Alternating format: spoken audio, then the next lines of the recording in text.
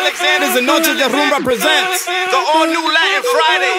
Starting August 4 at the one and only Club Alexander's, 165 Blue Creek School Road, Jacksonville.